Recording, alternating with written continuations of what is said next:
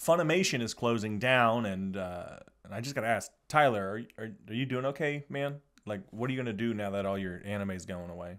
You know, I I think it's time for me to get my life together and start making some changes. Oh, that's good. I think it's about time to make a change. That is good to kind of finally grow up, and By signing up for Crunchyroll. that's the opposite of helpful. That's taking a step back. Weeb.